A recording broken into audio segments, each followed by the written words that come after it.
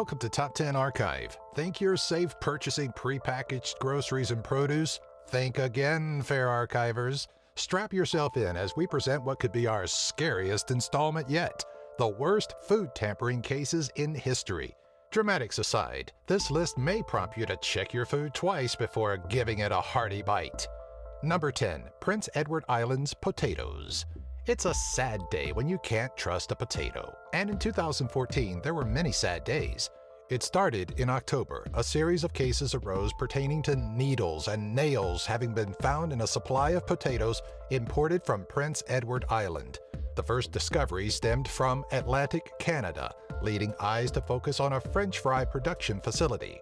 Despite the efforts from law enforcement and the Prince Edward Island Potato Board, the culprits responsible for over seven counts of tampering remained at large. To tighten the noose, the Potato Board offered a half a million dollar reward to anyone with information leading to the arrest and conviction of the perps. As of a year later, there were still no arrests made. Number 9. The Aqua Bomber. Just when you thought it was safe to drink water. Hmm. Late 2003 was the year several households across Italy were the scene of the crime. For unknown reasons, several brands of water were on the receiving end of unhealthy additives, including acetone, bleach, and ammonia. As quickly as the tampering started, though, it ended, with only some 20 cases of tampered bottles having been reported. The perpetrators utilized needles to inject the poisonous substances directly below the bottle's caps, and while the smell was strong enough for some to know that the bottles were unsafe, 12 victims were hospitalized with stomach pains associated with the Aqua Bomber's reign of H2 terror. Number 8. Gerber's Glass Baby Food.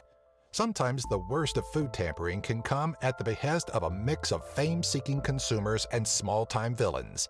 Such is the case in the 1986 Gerber baby food scare, when 137 complaints of glass fell on the Food and Drug Administration's table. After complaints of glass in Gerber's bottles were reported in Schenectady, New York around Valentine's Day, a panic seemed to fall over additional consumers.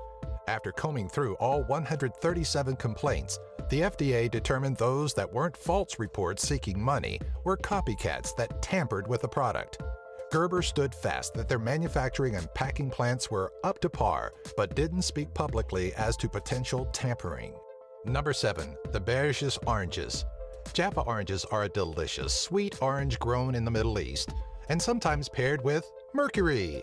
At least that was the case for the five children of the Berge family, a Dutch family that fell victim to a grotesque attack that was meant to hurt Israeli exports.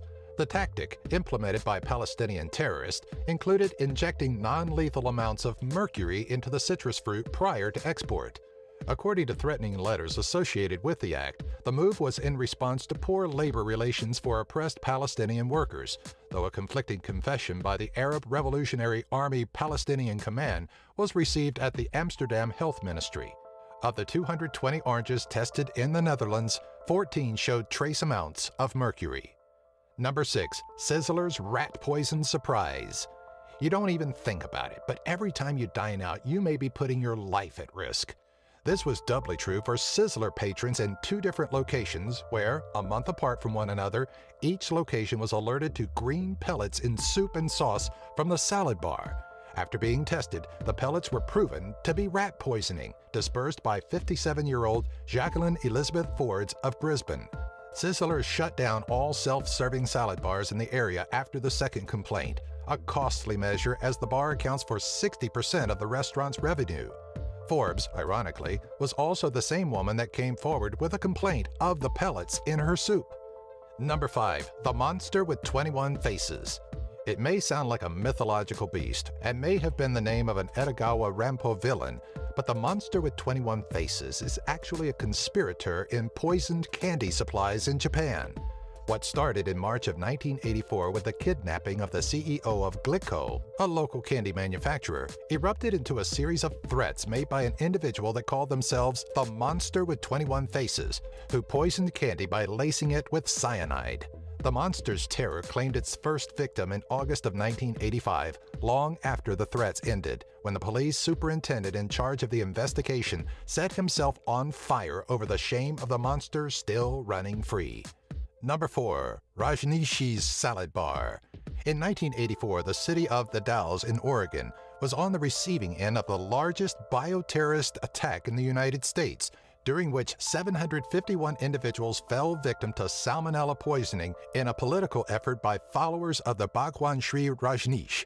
The attacks were an attempt to tip the voting scale so that two of the three seats on the Wasco County Circuit Court and the Sheriff's Department would be held by members of the newly formed town of Rajneesh, formerly Antelope, Oregon.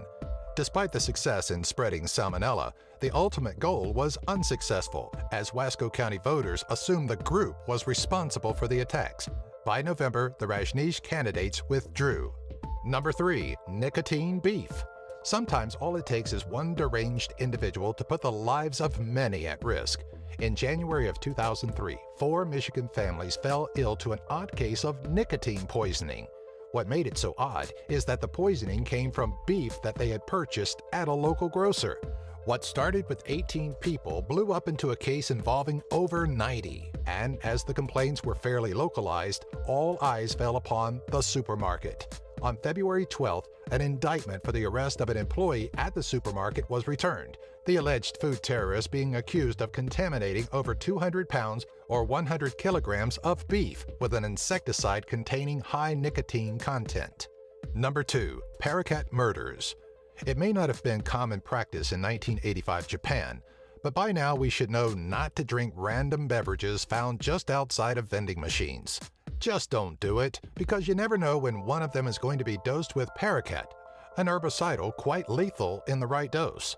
The first case was on April 30, 1985 in Fukuyama, Hiroshima, with 11 more occurring between September and November. Allegedly, many of the victims took a bottled drink left outside of the vending machine, prompting owners of the machines to leave notes warning against doing so. Thanks to the voices of reason, the poisoning stopped, but the killer still roams free. Number 1. Tylenol and Cyanide Back before tamper-proof labels, it was quite easy to add a little something extra to products like Tylenol. And in 1982, an unknown individual laced capsules with potassium cyanide. New York resident James William Lewis took credit for the tampering, demanding $1 million to stop the poisonings, which had already claimed the lives of seven people. Lewis was convicted of extortion, but wasn't originally pegged with the poisonings. In 2012, the FBI raided Lewis's home in connection with the murders, though the investigation is still pending. In the aftermath of these deaths, tamper-resistant packaging hit the market and product tampering became a federal crime. Do you have an idea for a future Top 10 video? Let us know in the comment section below. Be sure to follow us on Twitter, Facebook, and our website, top10archive.net. If you enjoyed this video, be sure to give it a thumbs up and share it with all of your family and friends.